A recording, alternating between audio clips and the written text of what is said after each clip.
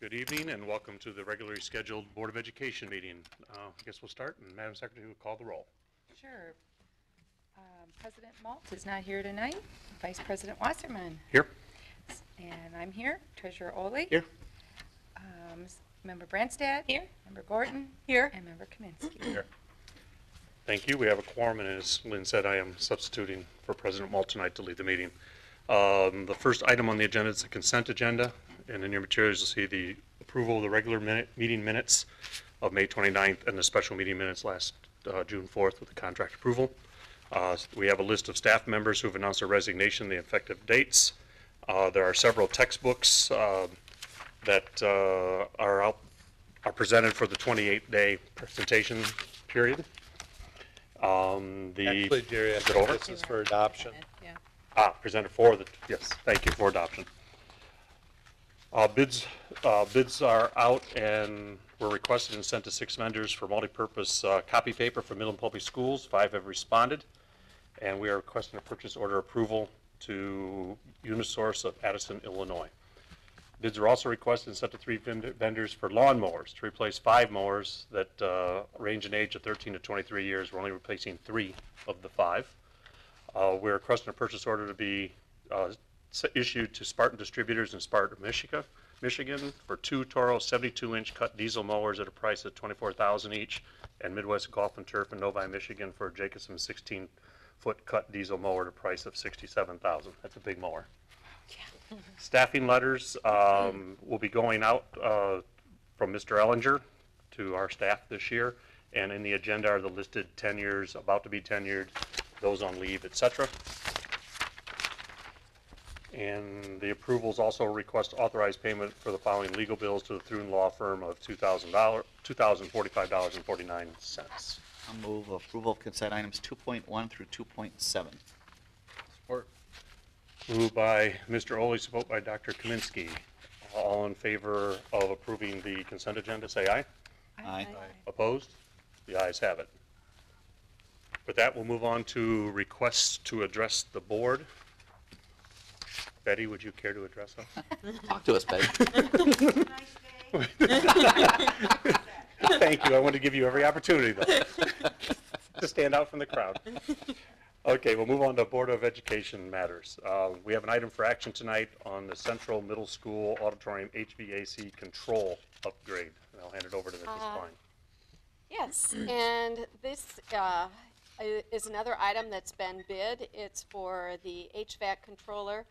And we looked at uh, two different options here. The scope of work involves replacing the existing main controller with a web-based controller. Our original units are no longer supported with the present technology. Uh, And we do need to get this done before we begin classes this fall. There was a second option that was significantly more extensive and expensive.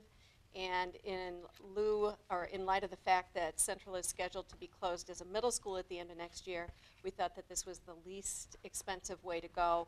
So we recommend issuing a purchase order to the low bidder, J.E. Johnson, for $9,470. Move approval. Move, move by Mr. Oley, and I think that came from Ms. Branstad. Okay. Um, Any questions for Linda or comments? Uh, I have, I have a question. Will the controller unit allow, um, still as temperatures in, uh, you know, the climate control down at a lower level once the school is con, uh, is closed? Uh, As Imagine it's gonna be critical. keeping zones the- of the building? Yes. Unfortunately, no. That, that would be a, a much larger project. And keeping it dialed into it, like, let's say a single level yeah, would would- be better controlled, I would imagine, Across- if we're not gonna be in the building as Yeah. much, uh, to bring some insurance that, that, uh, system will be running Yeah, it- as, uh, it as will. competent as possible. Yes, Yes. Okay, so this does leave us operable for several years. Exactly. Above minimum temps. And as you mentioned, the other unit was considerably more expensive, and for those in the audience, this unit's going to be $9,470 as in the agenda. Any other comments, questions? Seeing none, we'll move to a vote. All in favor, say aye. Aye. All opposed? The ayes have it. We'll move on to item 4.2, salary adjustments for employee groups of 2012 and 13. And this says Mr. Ellinger, but I, I'll hand it to you and then let you hand it off to Mrs. Klein. It's, uh, I think we're going to bring up a PowerPoint presentation and show you as I uh, review our annual salary letter, uh, like we typically do at the first board meeting in June. Uh, We're going to review an outline uh, of a report for the 2012-13 wage provisions for the 14 employee groups of uh, Midland Public Schools um, this evening. Negotiations are complete with, complete with the Mid- Midland Federation of Paraprofessionals and with the Midland City Education Association, which represent teachers and electronic learning facilitators. The contract with the Midland City Education Support Personnel Association, MASESPA, which represents the grounds and maintenance employees, expires on September 30th of this coming fall. The wages on page four are in effect from July 1 through that date. Um, We're going to share with you a little bit in general what's uh, included in this. Um, These are the groups that I just mentioned to you. And then secondly, um, this salary letter really impacts all the non-affiliated, the non-unionized groups in the district, the administrative assistants and office professionals, all administrative employees, athletic event supervisor employees, auditorium and workstation techs, co-op students, work experience students, and student assistants if we have any. Management employees, all those with the title manager, of course. Substitute teachers, at least those not contracted through our third party, PESG. Substitute temporary secretaries, temporary seasonal employees, therapy assistants, and transportation employees. The recommendation for these unaffiliated employee groups in terms of their compensation would be to maintain their salary and wage scales at the 11-12 level. This continues concessions that were made in the previous years, which is the, part of the rationale for why we would uh, make this recommendation. And where permitted by law or required by board policy, pay all the merit-based or negotiated raises that move an employee uh, through and along their range scales that are associated with those positions. When you look at the percent wage and salary change for our five largest groups over the course of about um, seven or eight years here, uh, what you see is the consumer price index that would have been total, these are totals in gray down at the bottom, of almost 21%. You can see what's happened with our foundation uh, per pupil allowance that's been reduced over those number of years by just a hair over 3%. And you see by, uh, for our OPs, these again are summative totals over that year. Uh, They've received a 2.8% increase. You see teachers have received a 6.2% increase, admin 5.3, and paras, uh, based on their step one wages of 7.6%. Recommendations for the unaffiliated and the affiliated employee compensation is pay a stipend of 250 to each administrator and 150 to each teacher with a highly effective rating on his or her annual evaluation. Unless those employees in those two groups receive the highly effective rating, they wouldn't receive it. You may be asking yourself why there's a difference in those two figures, and if you think about it, it's based on years, or based on number of days worked. Our teachers would work 186. If you're full-time administrator, you'd be working um, 260 days. We're also recommending the increase, um, to increase the district-paid state retirement contribution from 24.46% to 27.37 for those employees who first worked before July 1st, 2010, and then from 23.23% to 26.14% for those who first worked on or after July 1st, 2010. A lot of that's dictated by some new regulations and legislation that was passed at the, um, by our legislature in the past couple of years. Um, With this, I'm going to hand it, um, um, oh, I'll also review the percentage contribution of gross wages for premium sharing. This is not news to our board, but we wanted our community to see this as well. For administrators and teachers, for single-person coverage, they'd be paying 1.75% for uh, an employee plus one, 2.5%, or if they have full family coverage, it's 3%. I'll distinguish for you, that's not 3% of the premium. It's actually 3% or whatever the percentage would be to apply of their gross dollars that would, they would make for this coming school year. And you can see what it is for building managers, for the Masespa group, for MFP, and then on affiliates not listed above, managers, office professionals, workstation techs, et cetera. Uh, you can see what those percentages are. Premium sharing in ag aggregate, the employee contributions in 12 and 13 will cover 14% of the estimated cost of all health benefits. And since the contribution is based on a percent of wages, the percent of premium or the illustrative rates, as we like to refer to them, vary by employee. The typical administrator will be paying what some most people would consider 21% of their premium, if we had a premium. The typical teacher would be paying 15%. The typical parapro would be paying 3%. This um, salary letter has been, uh, the contents of the salary letter have been reviewed with your Facilities, Finance, and Operations Study Committee. We always run that thinking by them. Um, They've supported the recommendation, and we bring it to you for an actionable item tonight. And then, once we have that, we'll um, move on to Linda. Linda, you want to tack on anything in addition to what I said? No? Okay. Move So- approval. Moved by Mr. Oley and support by Dr. Kaminsky on item 4.2. Any questions or discussions? Just one small question. If you go back a slide, the percent of the total premium cost. What would, because the manager percent, which is so much higher, what would a manager be in, the- if they put a manager on this list? Because it was like six or seven percent on the previous one of their salary. Do you know offhand, Linda, roughly? Uh, There are some managers who are paying between 40 and 50 percent of the cost of the Really? premium. Yes. Between forty and fifty percent. And I think it's worth noting that that was a decision made last year through the salary letter. And thinking there was, we had been looking at reducing the building managers from 12 to 11-month contracts. And they came forward and offered this in lieu of that because they felt that it was important to be on site 12 months rather than 11. I remember that. Wow. And Linda, I may have walked into your, some of your slides, because I know, um, I may have done that, and if I do, I apologize. So if there's anything else that you intended No. to add on any of those, please feel free to do so. Any other comments or questions? Can you just clarify something for me? The, the retirement one with the percents, and we're voting on this? So what happens if we don't vote for that? I mean, because isn't it state mandated? I guess I'm just confused where. That is state mandated. Oh, okay, It- so- It's really just a statement of what we're doing with wages. Oh, okay, all But right. unfortunately, no, you really don't have a choice. Right, that's what, well, I was thinking that, but I was like, clarify for that. But for it me is that- important to note as it affects the, the overall wages and benefits of Okay. the district. But, but to that point, uh, Angela, you make a good point. The, we will be paying twenty percent of wages for the retirement. The teachers and other staff are paying three percent of their wages towards retirement. Do I have that right? Uh, there, it depends on which plan. Plan they're in. they- They're in. There are some who are paying, already paying close to ten. Everyone is paying at least three.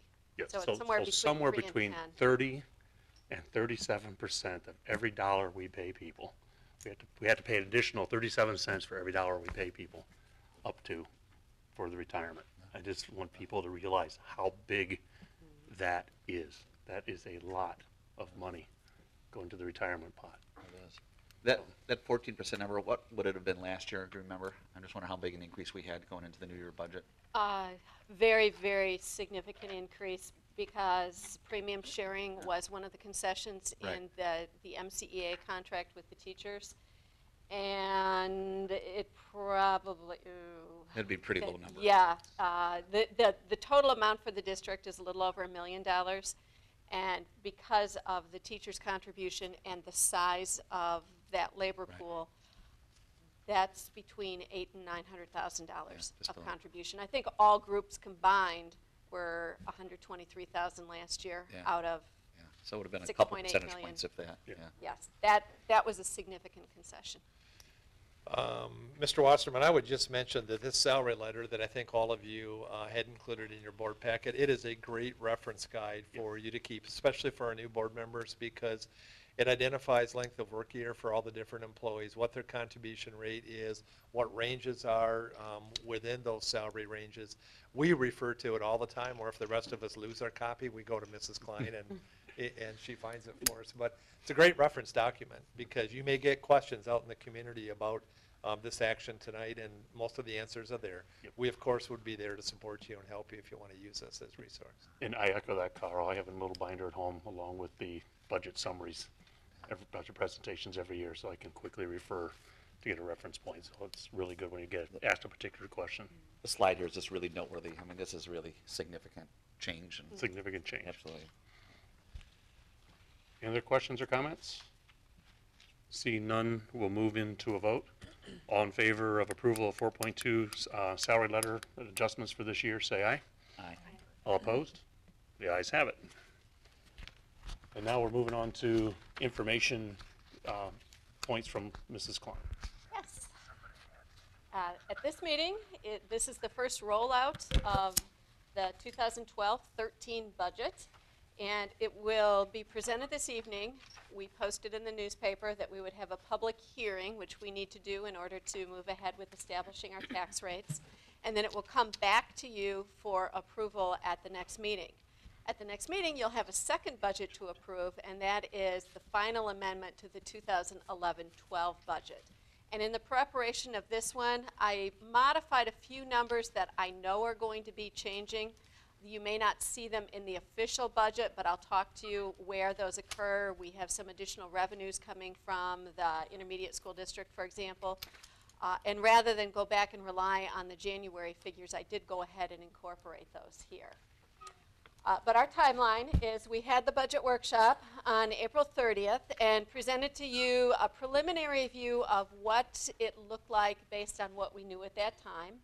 This evening, we have the budget that comes to you and the public hearing, and then you'll be asked to take action on it by June 25th. That is important because by state law, we have to have a board-approved budget in place when our fiscal year begins on July 1. Looking ahead to the end, this is what it looks like. Revenues will be almost $3 million lower than in the current year, 75,000 or $75,650,490.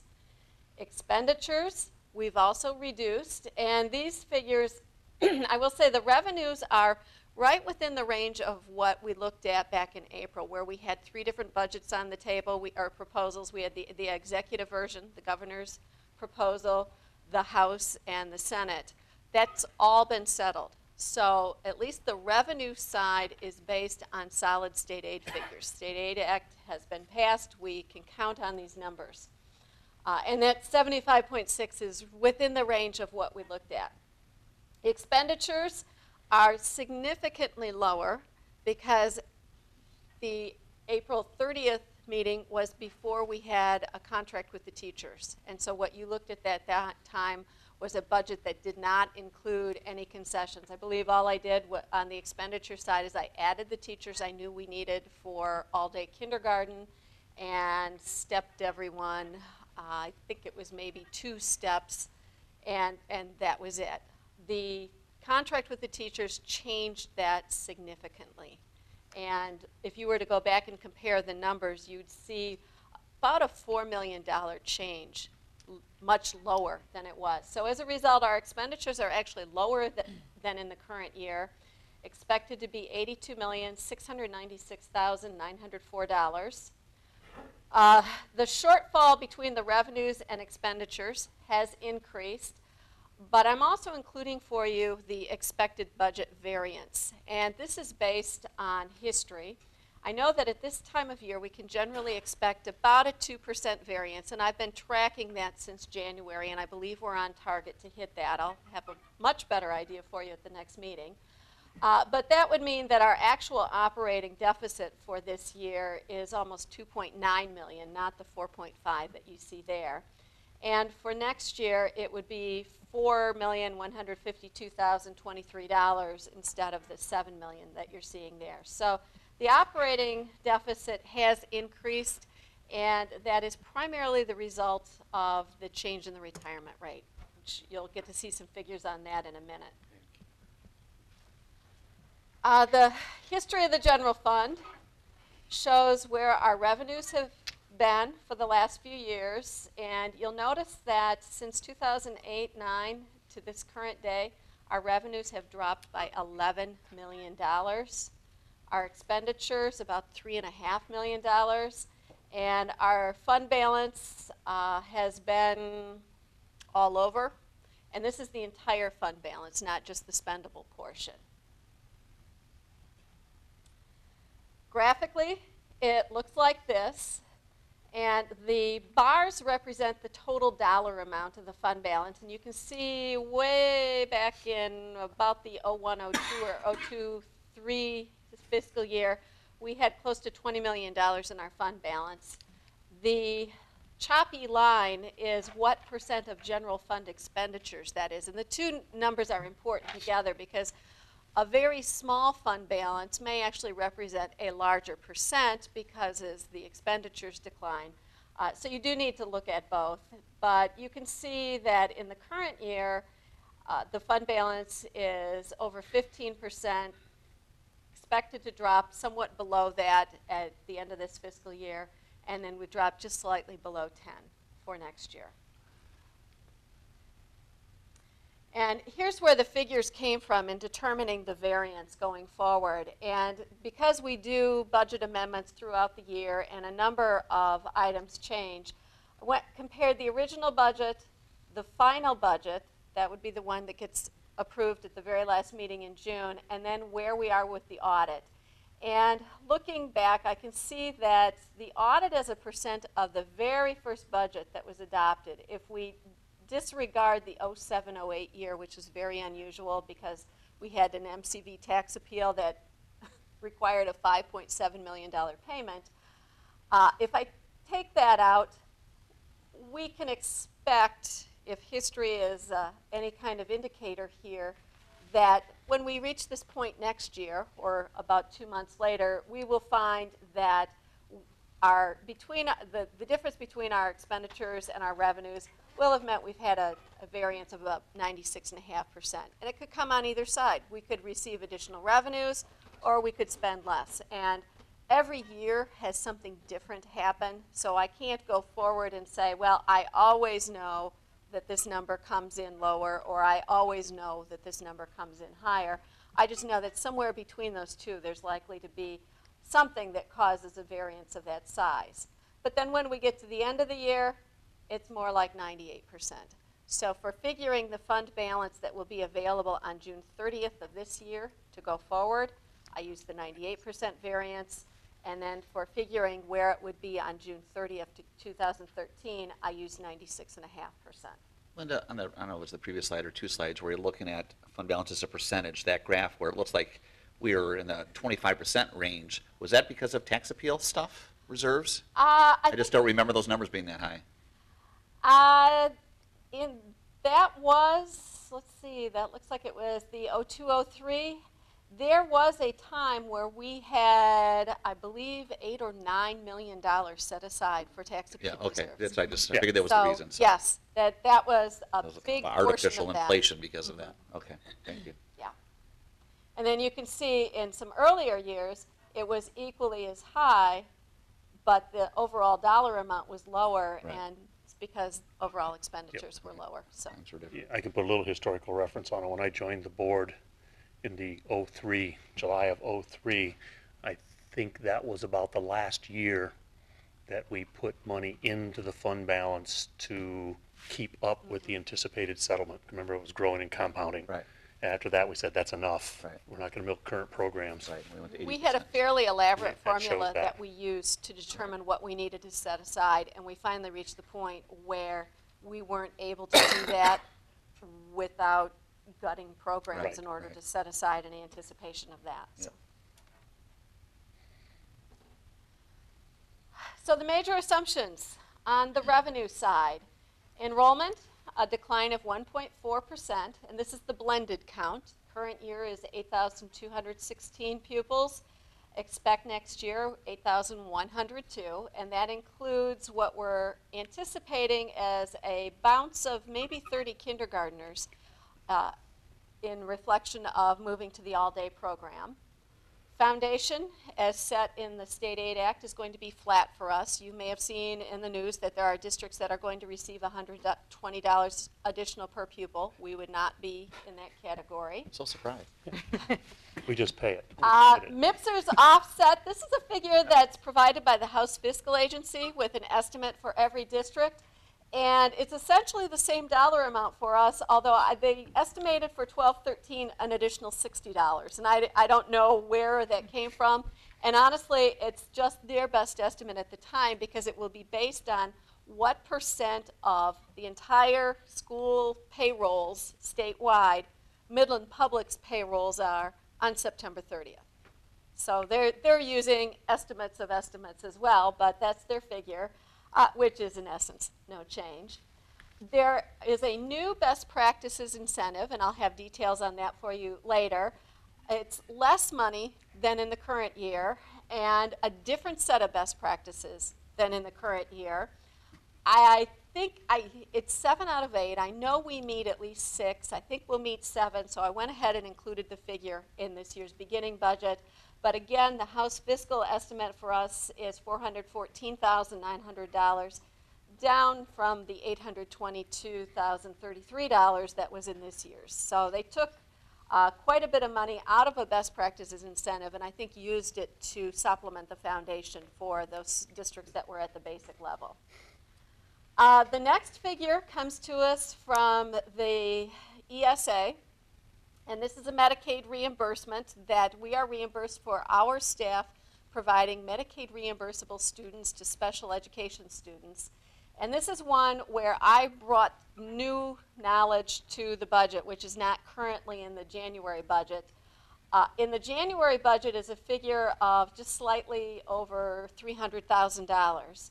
In our most recent conversations with the ESA, they've indicated that they had a one-time settlement of money that went back to 2008-9, and they are going to distribute that to the locals, and they're going to divide it over two years. So for this current year, they've told us to expect about 304,000. So this number is about twice what we expected. And for next year, they have 297,000 of that distribution, as well as an estimate of 489,000 for us. So since these are estimates provided by an outside entity, of course, they're always subject to change. But what we use at this time of year is, whoops, and Yeah, that is okay, not I- You correct. You saw my puzzled look. Yes, I did, and I'm thinking, what would be Thank you. confusing? And uh, no, that's actually an increase. uh, the federal programs, we're always told at this time of year to expect or budget no more than 85% of the current year. And then, once the application process is complete and the allocation at the federal level, typically that number changes. The overall effect on our budget, though, it should be a wash because every federal dollar has to be supplemental. So if that number goes up, expenses also have to go up. And so it works out not quite uh, a 15% reduction, but, but pretty close with the Title I and Title IIA combined. And then the enhancement millage, this is also a figure that's provided by the ESA because they're the fiscal agent for that. And their expectation was a 1.9% reduction in uh, what's there. Lin- Linda, a question on the last one, and you may not know, just as a curiosity. Is that due to reductions in property values on the revenues brought in? Or is it the difference in our split of students throughout the county? I believe it's just based on their estimate of property tax values. And again, that one is adjusted once the actual values are posted Okay. in the end of August. And also, it will depend on what portion, because it is allocated on a per pupil. So I think what they did in doing that calculation is they just estimated what the overall pot would look like and applied that reduction to all districts without trying to anticipate what might happen to our enrollments. Okay.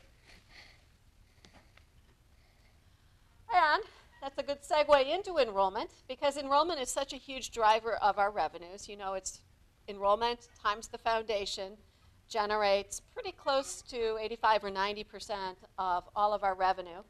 Uh, it's important to go back and look at where we've been. And I've been going back to the 0809 for our comparisons because that was the last year of what I would call full funding for Midland Public.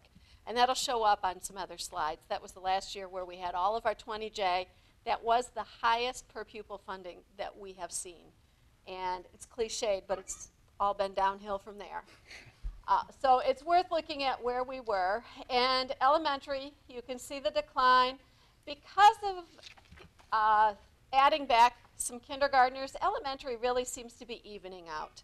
Uh, we've seen over, well, since 08, 09, almost 400 pupils, but the last couple of years we would expect those to be pretty close. And these are the full-time equivalents. This isn't necessarily the head count.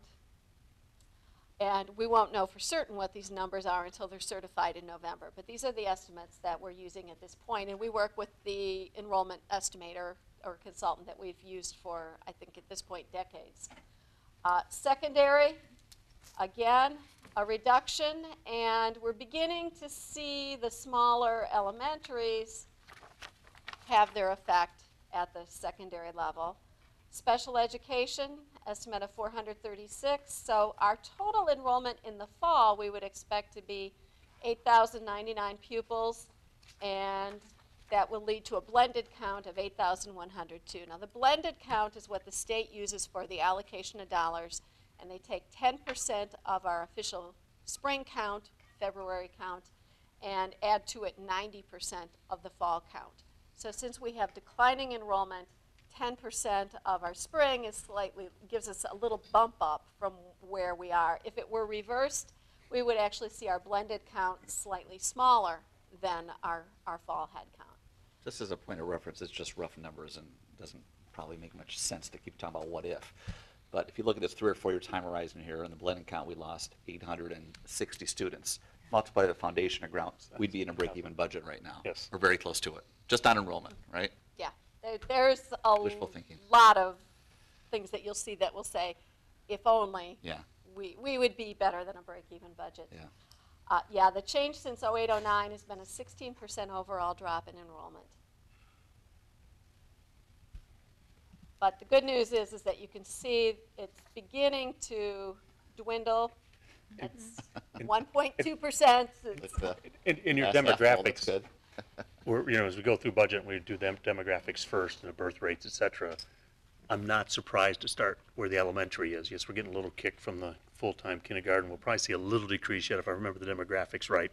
But it starts leveling out. yeah, it really does. Uh, the, the one big unknown, and it, it made me not even want to look ahead to 13, 14 in a sense that it would be pointless to try to generate the number, is the legislature right now is talking about changing the kindergarten starting date from December 1 back to September 1. Oh, And if that takes effect, we could see a drop of 25% of our kindergartners in a single year. And then, of course, that smaller class would roll forward for the next 13 years. Is that it- tactic for the state to save money? Uh, that would be part of it, but I think the stated belief is that perhaps there are children who are entering kindergarten who really aren't ready Aren't for ready. kindergarten. and it's So just a that's supposed to one be time. phased in though Yeah. over a And by the way, three-year it period of costs them time. less. Uh, there's been different proposals, but that would be one possibility, that the month would move back One month at- one month at a time. Oh, So we would lose one-twelfth of our kindergarten class for each year.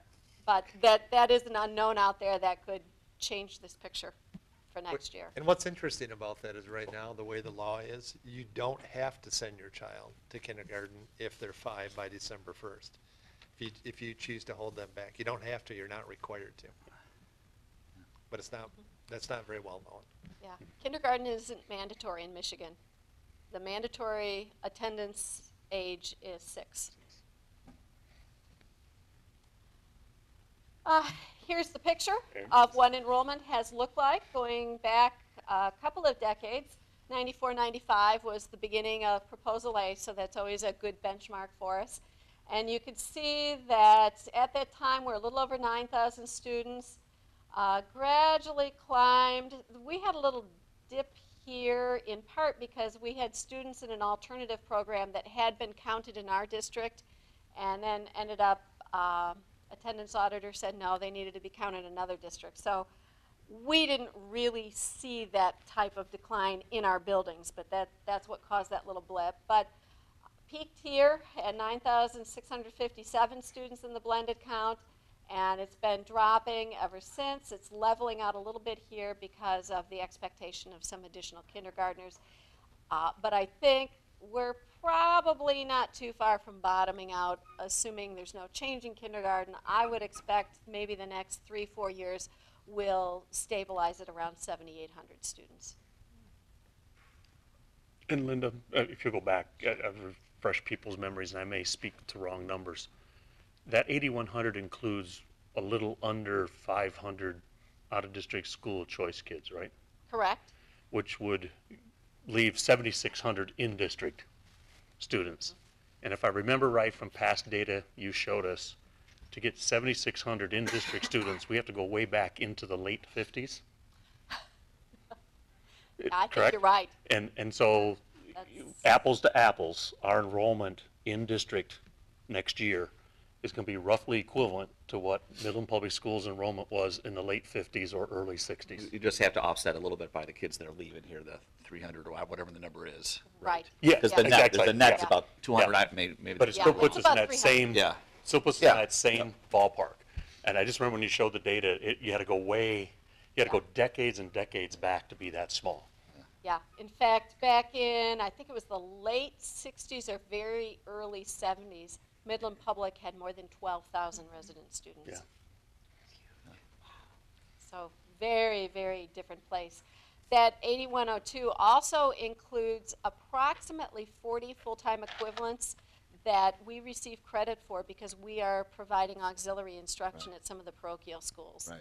And although for any given student, it's just a tiny portion of their instructional week, all of that adds up. And we receive about credit for a little over 40. One time we didn't have that at all. No, Yeah. no, that, that was a, a- I would say a fairly recent change. I think probably just in the last 15 years or so that we've year. been able to do that. Ah, so here's the 50,000 foot view of revenues. We, they break down into four categories. Our local sources are our local millages as well as investments, which are almost non-existent to date. At one time, they were close to eight or nine hundred thousand dollars. In this current year, they are below forty. A Couple of reasons for that, but the largest being the dismal state of interest rates uh, that we've faced for the last few years. Uh, State sources are the per pupil foundation as well as all of the categoricals, so the best practices money would be there, the MPSERS offset. Federal sources would be uh, the federal Title I, Title IIA, as well as some federal monies that flow from the intermediate school district through us. And then incoming transfers and other transactions. Transfers are monies that go from either one fund to another or from one government to another. So the enhancement millage is in that category. And one of the reductions, whoops, there, whoa. Going the wrong way, is due to the loss of kindergarten complement. With the full-day program, we're no longer able to offer the kindergarten complement program, which was fee-based. It's been very successful for us, and the last couple of years, it has transferred a profit of over $100,000 a year into the general fund. So that's part of what's there. Local and state, you, you may wonder, why is state down so much and local is up so much here? That's primarily a function of local taxable values. and this current year was very unusual because we had yet another MCV taxable value settlement that did some very strange things uh, in how it affected both our local property tax rate and our uh, state reimbursements, and we've been over all of that. But it ended up with about a million dollars of one-time revenues, and some of that came through state. Some of it we had to reduce a tax rate. Next year, that tax rate is able to go back up somewhat. Uh, so between the two, that that's where the changes are taking place. But overall, revenue decline of about 3.2 million dollars. Linda, maybe just make a comment for some of the new board members, and maybe I'm the only one here, other than Betty maybe, remembers a day where local sources generated what, 95% of our revenue? Yes. Remember that, Betty? Linda, when we finalize our budget for this current year, just to clarify for the audience, the, there's definitely going to be us dipping into fund balance for this Oh, yes. year, absolutely. Mm-hmm. So when I look at that bottom number on the right, that's an additional dip beyond what we're doing this year when we go into twelve, thirteen. Uh, This is- this That's is just the revenue. That's yeah, just revenue. this is This just revenue, revenue. so. This isn't But- deficit. It's- It's not, But certainly, the point was, is Yes. certainly for the 12, 13 year, much greater dip into Yes. fund equity. Yes. We're not adding anything to that. No, no, I that, I No, realize go that's back on to the 2.9 second million slide, expected. yeah, Yeah. that Yeah, was the- the earlier slide number. where, The budget's at seven million, the expected variance, which is kind of a new Yeah. designation, which we're glad we're doing, is two point nine. That's best scenario, Yes. pretty much, Yeah. unless you there's can some flash windfall back to from that some slide, source Linda, if anticipated. you want to. yeah, let's see. I think that's really a key number. Yeah, there's Everything def- we've done, One more. Definitely a lot more pressure on the fund There we are. equity. There. there it is. Yeah. Next year, some this year, Yes. definitely pressure. Yep. Three million this year, four Yep. million next year. Mm-hmm. And we're not adding to fund equity, that's definitely Still, a pretty tight we are- numbers at this point, because we know the state numbers for this Yeah. next year. even with the new contract, we are spending more money Oh. than we are bringing in. Without the new contract, It'd been a lot worse. this number would have been pretty close 11? to expected, you know, all the fund balance that we Gone. have. Yep. Yeah, But let, let- I think it's really important, this is really a key slide to focus on. This is, you know, if we manage our expenses like we have historically, you know, and get it down to the 96, 97 percent, we're still dealing with a $4 million deficit. Exactly. Mm-hmm. So now you take that, I don't want to, you know, be the pessimist here, but you take that forward, you know, unless there's some other opportunity for us to reduce, reduce cost, or we get some additional revenue from foundation allowance or other sources, take that four million now and carry it out for how many more years can we afford to do that before there's no fund balance? I mean, that's the scary thing here. Exactly. For everything we've done, including the new contract, we're still four million dollars. Yep. That's, that's expenses over revenues. And that's the best case. That's assuming we can manage the ninety-six and a half percent. Yes. And if we, and if we don't, it's another million if it's ninety-eight instead Yeah, of yeah. ninety-six. Yeah. And there's nothing fundamentally different next year other than the contract language on the, um, on the formula that could offset some of this. So the c- formula of the Yes. contract could Very low. offset some of There it, but it could will not be- offset all of it. There could be an additional two percent reduction in the cost of the contract. Uh, Also, there could be, we'll talk more about retirement later, but as it's on paper right now in the State Aid Act, the retirement rate is scheduled to go up almost four percentage points next Wow. year. Yeah. That's close to a two million dollar increase Right. for us. So, yeah, just think about the retirement thing versus any potential formula impact from the contract. And the retirement's gonna outweigh that substantially Probably. in all likelihood. Now, chances are very good that there will be some reform that changes that, and it could take two forms. It could reduce our rate, but depending on what's called for in the legislation, it could also encourage people to retire, in which case our costs uh, may also drop Yeah. if we have people who have experienced, they're at the high end of their salary schedule, wherever, whatever their employee group is, that can turn around expenses in a Yeah. heartbeat. But we are betting that something is gonna change, so we don't continue that run rate beyond this next year, right? I mean, Yeah. Because, otherwise. because right won't- now we, won't be solvent. right now we will be, Yeah, unless we, unless something changes. that's right. Let me- And, and Linda, I'm sorry, can you go back, I think it's Yeah. two slides?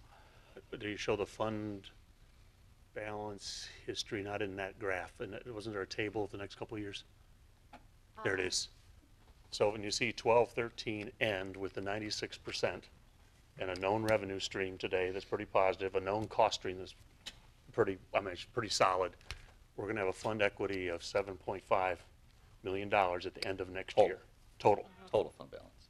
And with another, if that four million continues the following year, I would tell you, we're gonna be essentially break even at seven point five. Yep. But we're gonna have to do something more That's right. to offset that. Yeah, yeah. And Linda, what, what percent, uh, would that fund balance be at seven point five?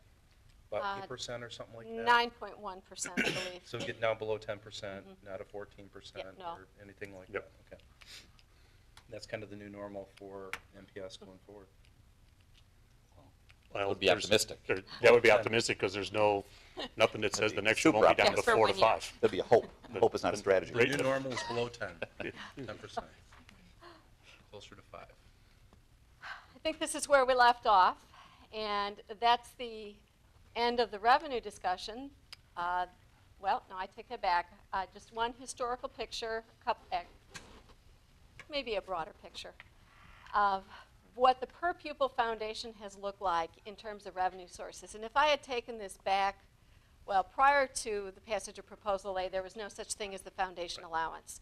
We lived off of whatever our local property tax generated, and if we had more pupils, it just meant that there was few, fewer dollars per pupil, and if we had fewer pupils, more dollars per pupil. Uh, but since Proposal A, we've had the foundation allowance, and you can see back in our high year, it was eight thousand nine hundred four dollars. It's now down to eighty-one forty-one, which is where it's been. And we've had our local hold harmless millage generating four hundred fifteen dollars and thirty-one cents per pupil. That's a fixed amount. It has been fixed since nineteen ninety-four. Our hold, our, our local millage, which is on the non-homestead, or it's called non-principal residence, non-principal resident exemption properties, the non-PREs, uh, generates that amount, and that's a function of changes in local taxable value and changes in classifications of property that are or are not included. But in general, it's 18 mills on the non-PRE properties and 6 mills on commercial properties, and homesteads are exempt from everything except that 415. Uh, So our local funding, which was indeed well over 90% in prior years, is not quite 32% expected for this coming year, and it is somewhat higher than in the current year because of some of that shifting uh, between state aid and, and local. Uh, the state now provides 68.2% of our revenue, and 0809 was the last year where there was the Section 20J payment, and Section 20J of the State School Aid Act was enacted to ensure that all districts receive the same dollar amount per pupil increase. That was repealed, and so now we are capped at a percentage increase, and there's been a return to what's called the 2x formula. Well, there had been a return. This year, uh, I guess I would call it the 0x formula because we're getting nothing and other districts are getting $120.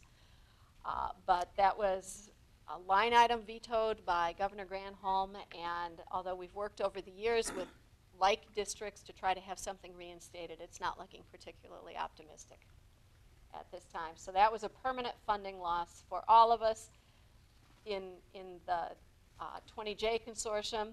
This loss was $470 per pupil, and that was applied across the board for all districts. And it, again, it was not done on a percentage basis. It was a flat 470. So in defense of the districts receiving 120 this year, they're not getting anywhere close to what they lost.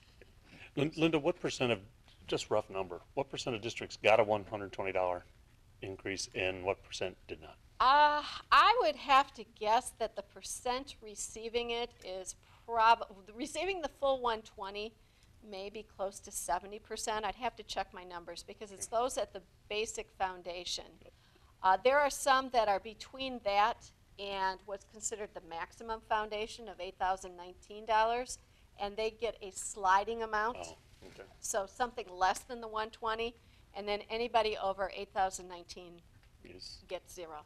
Jerry, there's roughly 560 public school districts, and I think the number they got, the 120 or some percent of that, was 483. Yeah. When that news hit, though, they combined um, other kinds of academies and so on, and it was a number of like 483 out of 800 and something, and um, they made it look better than what it really was. Okay. So Yeah. going back to my reference on the enrollment slide where we lost 860, whatever the number was, and what that was worth to us. Now just look at the foundation allowance Oh. there. So that's, you know, 760 in the foundation allowance. So what ifs? It's a dreamland now. If we had had, foundation allowance had not gone down, enrollment stayed flat, my goodness, what a different, we'd have all our programs reinstated. Plus, be able to be take care of our employees in a better way than what we've been able to do it. I mean, it's like, when you look at these slides, it's like the perfect storm of why we always knew that Proposal A was going to come back to really bite us. Combination of decreased enrollment hurts us and decreased foundation allowance hurts us. In the old way of doing things, enrollment would not have hurt us as much, and we would have been subject to the desire of our voters on what the millage was. So, That's right, really, yeah. The deck is definitely. fifteen million dollars worth between these two issues, just because of proposal A. I mean, that maybe is just really a rough kind of throwing number out, but don't you Yeah. think? It's in that neighborhood. Uh, next two, I think will really enforce what, what you're talking about, Rick. Uh, I compared our annual growth in the foundation allowance, that's the gray bars, with the state minimum foundation allowance, and those are the blue bars. The asterisk indicates that these are the stated values, but we had three years, 02, 03, 03, 04, and 910, where no one's foundations were fully funded. So on paper, they appear at the levels they were here, but the actual foundation might have been somewhat lower. But you can see that the percent increase, because these were, uh, uh, many of them were just flat dollar amounts, were much larger for districts that were at the minimum. And it continued to get increases. Uh, no one had anything during this time period. Uh, this year, this was 2009-10, that's where we lost the 20J money, and other districts were held flat. Last year, because it was a flat $470 per pupil reduction, it was actually a larger percentage reduction for the minimum districts than it was for us. And then in this year, nothing for MPS and not quite 2% for the districts at the minimum. But this definitely favored the mm-hmm. districts with the lower foundation. Absolutely. And And, and Linda, to put some dollar numbers to that, I don't know if you're gonna do that. If you are, I'll hold off the question. My, is, currently, we're getting what, roughly total eight thousand some dollars a student? Yep. If I remember right, 41. eighty-one? And if I went to other districts that were getting the full blue bars most of the time, they're at what now? uh, they were at 68.75, so I think they're going to I- 69.20. I, I had in my head they'd be at seven thousand with the increase, so I was pretty close. So the gap is now a thousand dollars a student. If you went back to the first years, Gap was much that gap Oh. was thousands of dollars That's right. different per student.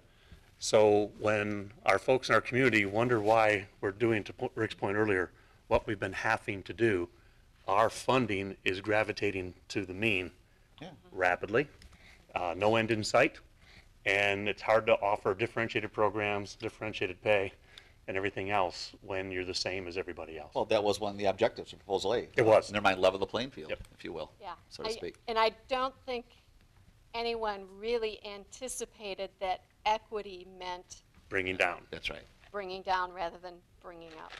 Well, when the state economy is going this direction, you have no choice but to do that, right? I mean, Yep. This is, not to confuse the issue, and I don't know if you're going to talk about retirement costs, but this is pretty much out of our control. So then you take the retirement costs, which is pretty much out of our control is increased expenses mandated to us, coupled with this, and those combination of things out of our control mandated by the state have been devastating to us. Devastating. Yeah. I'm not sure if this is my least or most favorite graph, but it's probably the one that uh, makes me the most angry.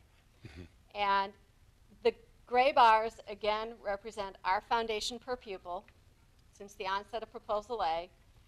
Uh, the yellow bar is what that foundation would be had it just kept pace with the inflation rate. I ran our foundation through the Bureau of Labor Statistics CPI calculator to come up with these figures. And I've done a little bit of the same kind of math that Rick did. I took the difference here between our 8141 and this over $10,500 foundation times even our current number of pupils, Right. and the figure 20 million. is $24 million. Yeah, yep, Yep. Unbelievable. To me, that says it all. Sure does.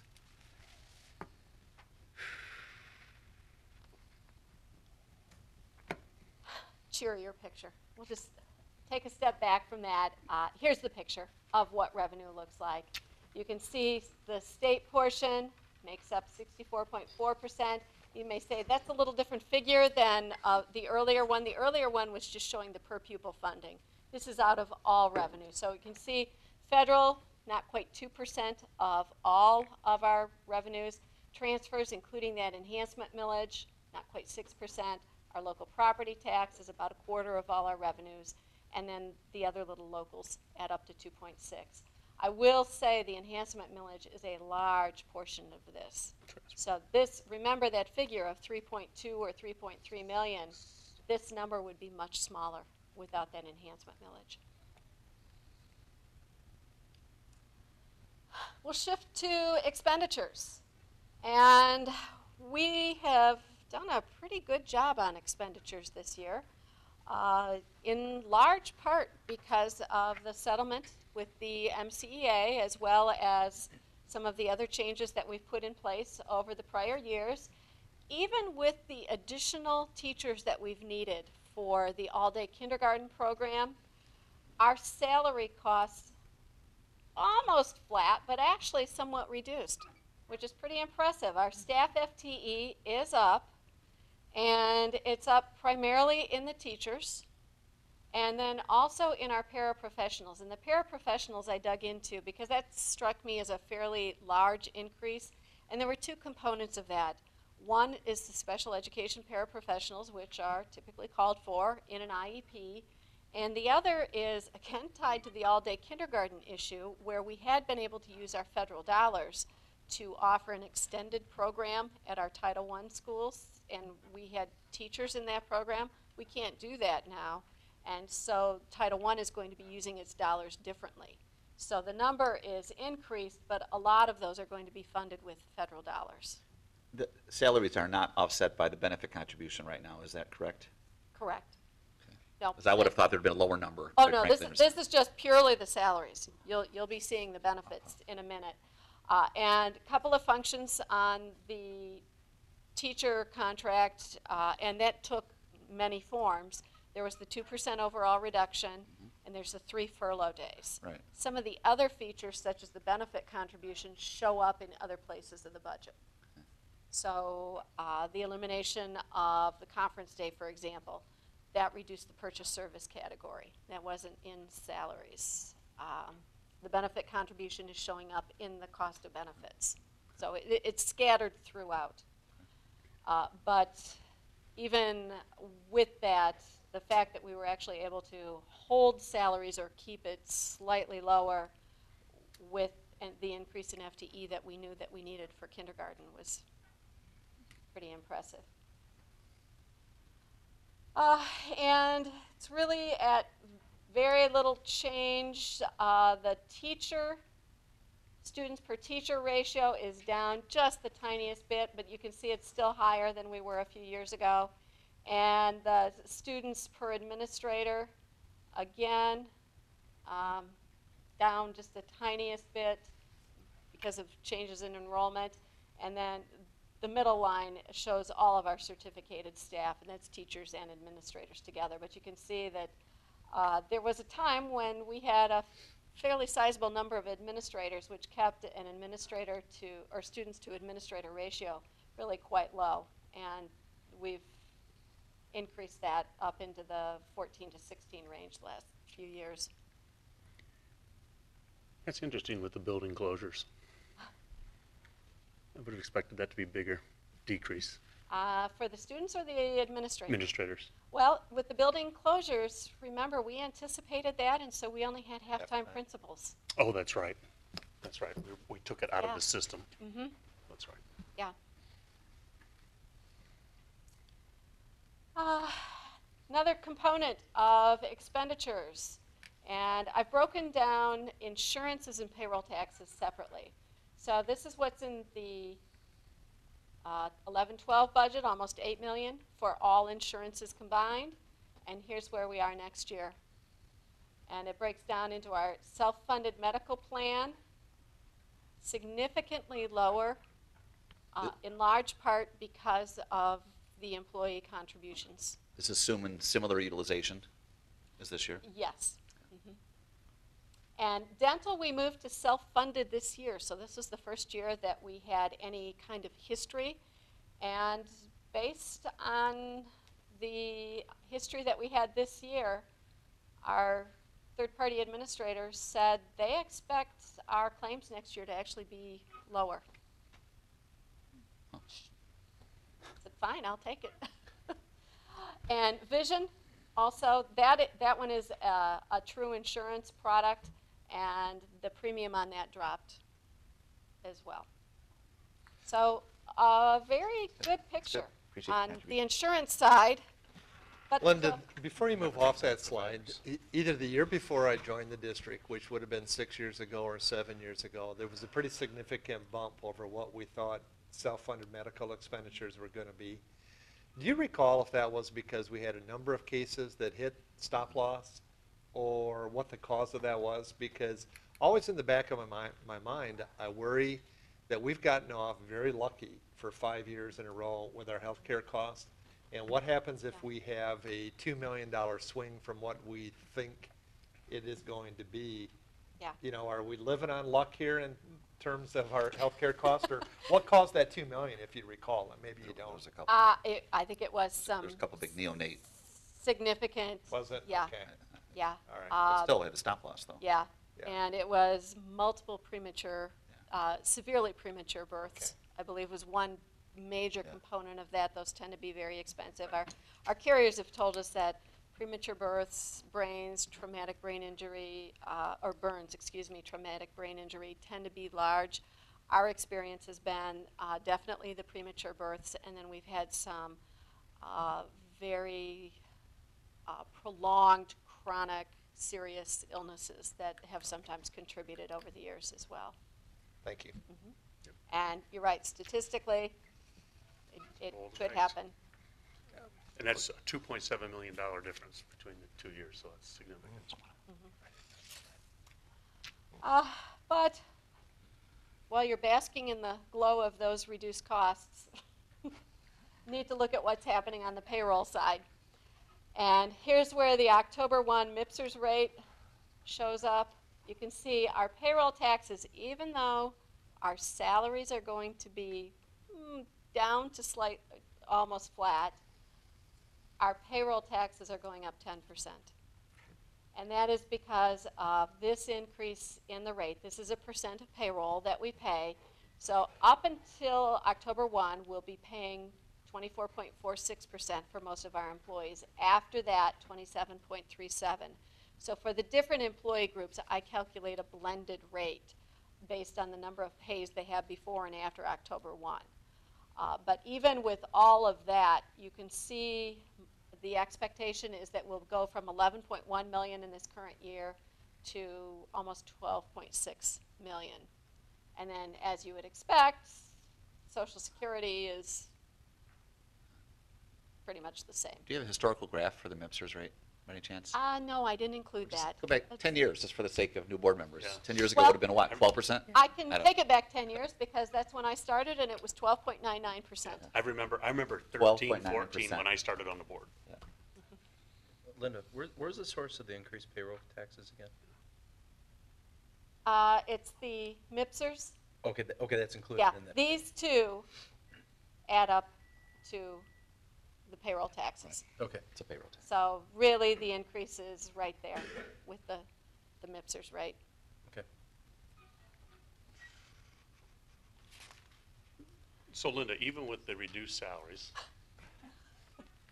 our payroll staying relatively constant, like your 0.7% showed. And that must be some step, functions of steps. Got to be some of that that's Mhm. raising that. And then a few more teachers because of the kindergarten Mm-hmm. situation is driving that to stay balanced versus down. Mm-hmm. You know, just with the contract, I would expect those to be down versus flat, but Well, You get remember, a offset. lot of those concessions too were in places other than in the salaries. Right. You know, the, the Gotcha. premium contribution was a big portion of that, so you can't expect to see that full amount. with the 2% I should. Yeah, two percent of, uh, But 40% of our Thirty- folks are on Our steps. steps. Yeah. So Roughly 60 five percent is Yeah. offsetting, Right. forty percent of So five 40% got is a, plus two percent. 40% actually got an adjustment upward. Yeah, yeah, and if it's forty percent at five percent step, that's two percent Right. plus That's against the right. two percent That's right. minus, and That's right. Yep. we're balanced. Uh, so there's are the major categories that we use in the budget, the salaries, the benefits, uh, and then the other categories, purchase services, supplies and materials, capital outlay, other, which are capital leases and gifts, and the outgoing transfers. And overall, we've reduced expenses four hundred sixty-two thousand seven hundred fourteen dollars over the current year. And I just wanted to point out, there's an interplay between supplies and materials and gifts, because at the time we do the January budget, many of the gifts have come in, and so they've been distributed into other categories, typically the supply accounts of the buildings that are purchasing the gifted items.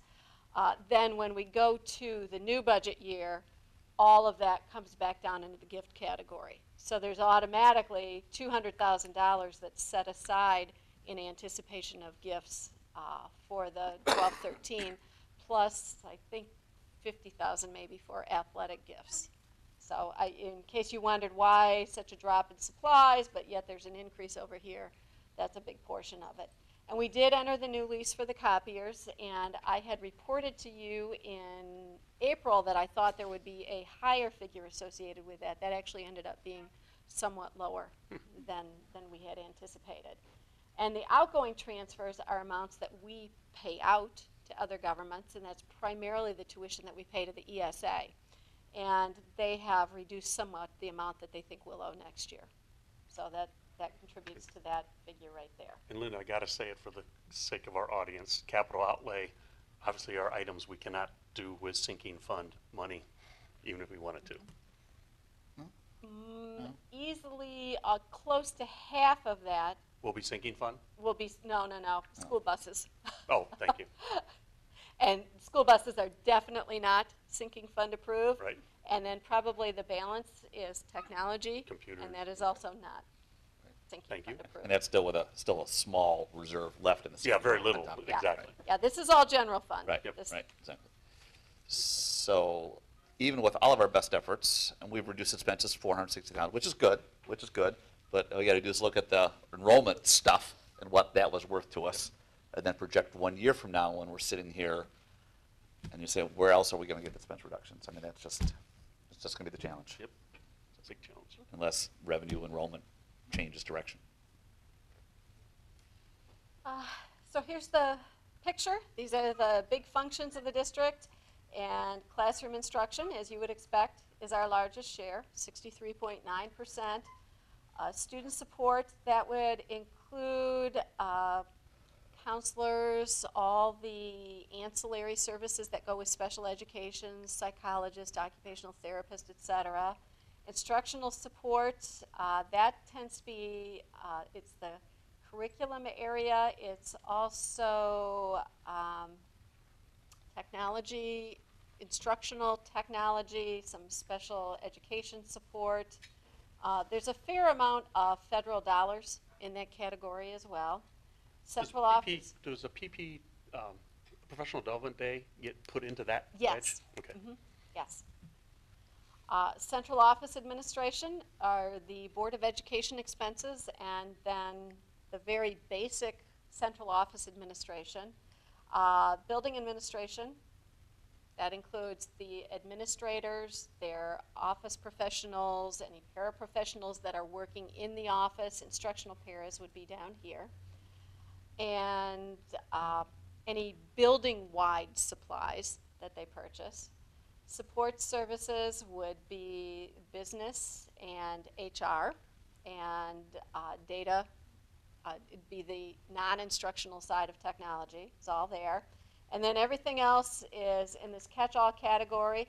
Biggest share of that is maintenance, which includes utilities, transportation, then athletics, uh, and then the other and some of the, the outgoing transfers that are not over here. But this, this would be lease payments are captured in here. And athletics is the net number? No, No. no. Okay. Uh, Due to a GASB change a few years ago, athletics is now included in revenue and in Expense, expense. And so this is just the Expense side. expense side. I think in the narrative, I broke it out for you and Okay. showed with the revenue and the expense. I think the net Like is, four or five hundred, isn't it? yeah, neighborhood of half a million dollars. Yeah, yeah, substantially reduced. Yeah, it used to be well over a million. Uh, and then if you want to look at it with the other slice, salaries and benefits make up not quite 85% of the entire budget. And you can see salaries right there, about 56.8%. We have the FICA, the retirement. Retirement is becoming a bigger and bigger piece of the pie. Uh, there was a time where retirement and medical each were about 8%. And you can see what's happened there. They're not only combined much larger, but medical is getting smaller as a result of the contribution, and retirement is getting quite a bit larger. Uh, all the other little benefits, life insurance, disability, et cetera, are fairly small. And then our other categories are our purchase services, our repairs and maintenance, our supplies, capital outlay, et cetera. So no real change in the overall percent of the budget that's people dedicated. But what you would see is that the percent going to salaries over the years has become smaller and smaller, the larger share going into benefits. Uh, so looking ahead, we have a couple of things that could affect us for this next year. For the best practices incentive, we have to meet seven out of eight criteria. And the first is to act as a policy holder for our healthcare services benefits. We've done that. Uh, we need to competitively bid at least one non-instructional service in 1213. We can do that. We can, need to participate in schools of choice under Section 105 and 105C. We have done that for years. Uh, we need to measure student growth at least twice annually and report that to parents, or provide MDE with a plan and show progress toward developing the technology infrastructure necessary to do this by 1415. Uh, we don't currently do that, at least as best I can tell, but if we have to, I'm sure we can come up with a plan so that we can qualify for this money. Uh, we also need to provide dual enrollment and other opportunities for post-secondary coursework. We've done that for years. Provide online learning opportunities. We've done that for years. Provide a dashboard to parents in the community. That's already on our website. And then the other one that I'm not certain about, and that's to provide physical, physical education and health classes that meet State Board of Education standards. And we're going to have to dig into this a little bit to see. We believe that our curriculum meets state standards, but we don't know if there's been sort of a super set of standards developed to try to push districts into more and more PE, for example. Uh, so the two that we wouldn't be certain about would be the twice a yearly monitoring of all students or assessing of all students, and then the, the PE. But certainly, we believe that we can meet the requirement on the monitoring and developing the plan for the technology. Uh, the PE remains to be seen. If it's a requirement to have daily PE for every student K through 12, we clearly are not going to be able to meet that standard. Uh, And there might be a distinction there between what the Michigan Department of Ed requires for PE curriculum now versus what the state board, because they came out with a statement just a Mhm. few weeks ago or That's what I a thought. couple of months ago that really did raise the bar. Mhm. It, and I remember when I read that, the problem is that in a lot of school districts, in order to meet that, it means kids will not get something else somewhere else in the curriculum. And so they're forcing us to come to grips with the health of our, our students by putting some money that incentivizes us to do so. The other big unknown is what will happen with House Bill 1040, and that would amend the retirement system, and it would make changes to pension and retiree health care benefits. There have been about three versions of this that have uh, been floated in the last month and a half, and progress on this seems to have stalled. Originally, uh, the first bill, I think, would have taken effect on July 1. Well, at this stage, it's a little too late for that. But any changes there could affect our contribution rate. That's certainly one of the intents, is to drive that rate down. Uh, could, uh, if it did that, it probably would change that MPSERS offset, the revenue categorical that we have for $912,000. And then the third effect could be to encourage some people to retire who might not have retired quite as soon, and that could then drive expenditures down. So there's, there's a lot of what-ifs tied to that, and because it's such a large component of our budget, this will have a significant effect going forward, not only for this current year, but also for what 13, 14 might look like. Yep, and for fellow board members, I don't know if this is a good number or not, but it does not surprise me at all when you look at this rate of funding they've been doing. I read uh, this week in some news article that with decent return assumptions, meaning not seven and eight percent, but more like four and five percent, um, the state health and retirement fund is underfunded by seventy-two billion dollars. Never seen that figure. I only saw anything as high as 42 billion. And, and and I, I think it gets into how you look at future return assumptions and, and to be hundred percent funded. But still, it's in this fifty billion dollar or bigger number range. I would say up until last week, uh, I think Linda and I both agreed that we didn't think anything would happen with this. uh, Certainly until maybe the legislature comes back in the fall. On uh, Gongwer's and through the MIRS organizations, which is the news outlets out on, you know, governmentally out of Lansing. The governor is not letting the legislature off the hook, and he and uh, John Nixon, I think is his name, uh, the state budget director, would like to see some deliberate study of it, even yet this week, so they could pass something this week, so. Wow. um, If they pass something on that kind of short notice, I would worry, I'd, I'd, I'd feel more comfortable if they waited until at least midsummer in the fall, but, uh, the governor's not letting anybody off the hook on this. Linda? Well, what- bond agencies are starting to figure it out and understand you got these huge future liabilities and it's raising the interest rates on borrowing. Sure, That kind of liability, yeah. Are, are we on par with the MPSERS offset for this year? We're not being treated different, differently than other districts? No, because it's based, uh, it's purely percent of payroll. And so Okay. there, there's no uh, saying some districts have a higher foundation. It's not foundation-based at all. Uh, Districts that have done a significant amount of privatizing receive fewer dollars because they've reduced their payroll. Privatization costs are a purchase service. They're not a salary related It's less cost. payroll. Yep.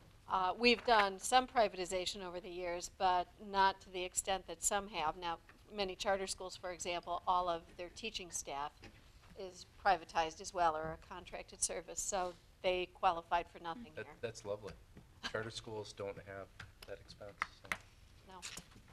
Uh, uh, One item that I probably should have put here but didn't is what may happen to personal property tax reform.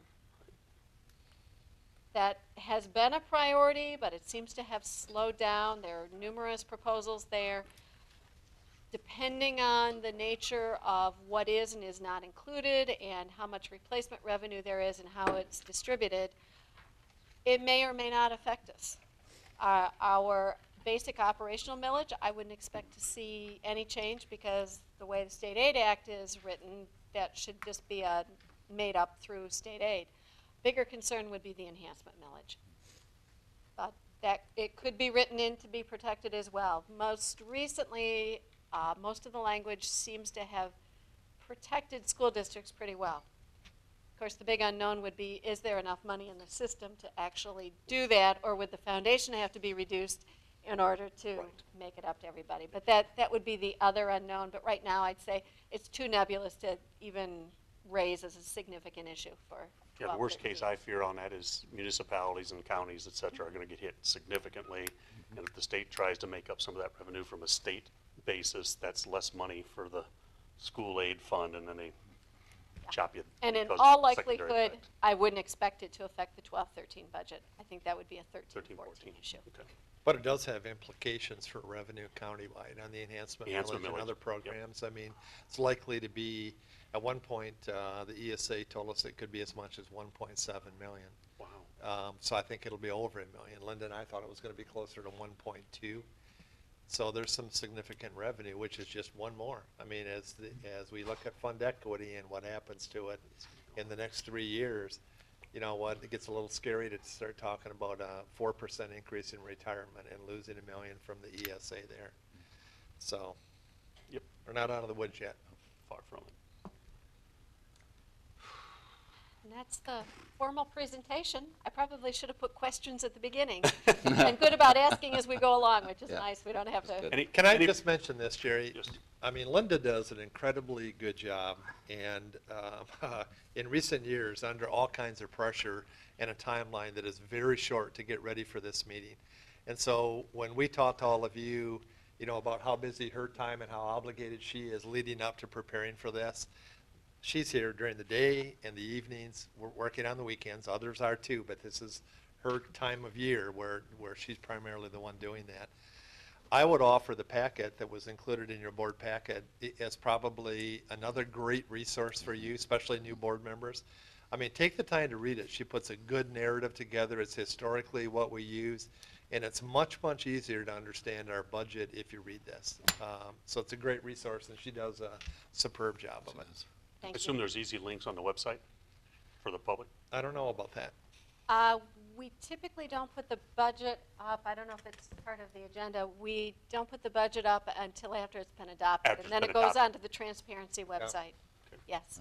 And I, I have to say thank you, I appreciate the, the comments, but I have some excellent help too. Uh, Carol Laux, our business manager, she works behind the scenes, the two of us work together, we're always calling each other saying, I need to get into the spreadsheet, or you need to do this. Uh, and I, I really count on her assistance as well as everyone else who contributes their share of the budget because each person is responsible for budgeting their area and then they funnel it through me. I do all of the personal budgeting for all of the teaching staff, the administrators, and the managers, but someone else handles budgeting for the paraprofessionals, office professionals. And since salaries are the largest part of our budget, it's, it's the people portion that's probably most significant. But I, I get a lot of good help from a lot of people at this mm. time of year. Well, the level of granularity here is- is high or better than I've seen in any other organization. The granularity of getting down into the weeds on every little detail is really outstanding. It's a lot of work, and thank you. It's outstanding. I, I'm thinking between putting the contract to bed and get the budget to bed here, I'm thinking people need a vacation is what I'm thinking. I, So- I think that's a really good idea, Rick. Any other questions for Linda? Ju- Just let me just, I'm trying to frame this in my head here, I guess. So with all of our best efforts, and obviously the contract was a significant contribution to some improvements here on the expense side of the ledger, um, we are still dealing with what will be officially a budget that shows a deficit of roughly $7 million. Best guess, based on historical expenditure, we're down to $4 million. So we're expecting three weeks from now that we will end up taking roughly 3 million, 2.9 million out of fund balance. All right, this year, mm-hmm. this budget would say, best guess, 4 million out of fund balance. That's after significant work on the contract side of things. There are no significant, if any, program reductions built into this. There's no building closures built into this. So we just got to project ahead, where will that come from next year, so that we don't continue a $4 million real deficit going forward. Exactly. That just kind of frames it. So And thirteen fourteen does have one building closure. one building closure, that's exactly right. And then hope that there's some changes in a positive way on retirement side, or who knows about enrollment, but at least we can level out, that would be a positive kind of thing, so it just, And you know, Rick, well, I would say, um, I think all of us are pleased that we've been able to push thi- this teacher contract behind us. You can't look at those budget numbers and say, uh, the next time around when it comes to negotiating the next contract, I mean, we, and I think you as a board have known that in order to address our largest expense item from our largest employee group, um, we could not solve the district's Yeah. financial challenge in the settlement of one contract that's right. um, it, it's gonna take two in order to get that done. And I only mention that because there is a sense of relief, I think, in the community. I've had community members tell me that. But people have to realize that i- it's not like w- we had reached the bottom and it's only gonna mm-hmm. get better from here That's on right, up. I know. If we aren't careful and something doesn't That's right. change, it'll be even worse than what the last two years have been. No, It is. And we have to prepare ourselves, and you have to prepare yourselves right. for that as board members. I, because here's the, here's the three hopes, and I said before, hope is not a strategy, is we're hope that retirement will level off or improve our situation. We're hope that enrollment declines will level off or improve. And our hope is that foundation allowance will stop going down and might turn up. Those three things need to happen in a positive way for us to, To get to not neutral. worry about something really severe. And to put it in, in perspective, I didn't point it out on your slide, um, doing the mental math and the memory of math, busing and Athletics math athletics doesn't even hardly get to a million dollars. doesn't, So when you, when you think about the, Where- What's left? or, I'm sorry, the, the, didn't you show transportation at seven hundred and something? Uh, no, uh, that was Oh, just that's school right. buses. Yeah, That was just buses. purchase I'm sorry. I think you're That right, was though, three right? some million, wasn't it? Total The transportation? point is, there's not much else left Not much left to go. anywhere. There we go. Yeah. Uh, Four percent of the entire budget is transportation. Three point two, much of that special, some of that special ed. Exactly, which you're we're gonna be- but- required. Well, the point is savings in the worst case. Two scenario and would not change be- in athletics doesn't get you out of this thing, That's right. even if you made them all disappear. And we knew that, and we just had to put that in perspective. Well done, Linda, really. Thank you. Great Thank job you. presenting it to us, great job. Any other questions or comments for Linda? If not, we'll move on to agenda item four point four, which is public hearing on said bud, on, uh, on the budget. Um, I guess I don't have to call a vote to open the public hearing. At this point, we'll open the public hearing. And, uh, looking at the attendance of the meeting, experts in the room. I wonder if there's any, any of our attendees who are experts They- with great historical perspective They- of being former board members and being involved in this for years, would like to comment at the public hearing on the budget. I don't want to embarrass them, but they've seen three times more budgets than I have. and I- Collectively. Y- Your comments would be uh, well appreciated if you have any.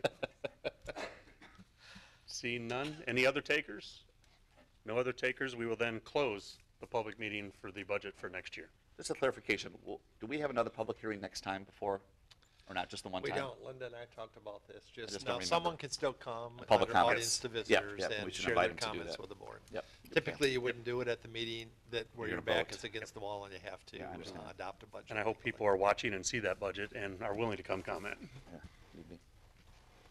Okay, we'll move on to the next uh, agenda item, 5.1, Administrative Services Study Committee meetings. Lynn? Actually, Angela's. Oh, Angela's I'm going to do it gonna tonight. We met, um, last Wednesday, and we, um, first thing we did was consider a grievance appeal at the step three level, and then we also reviewed the three thousand professional staff policies, um, thirty-three sixty-two, page six through thirty-five thirty-one, and the four thousand support staff, forty-one ten through forty-one sixty-two.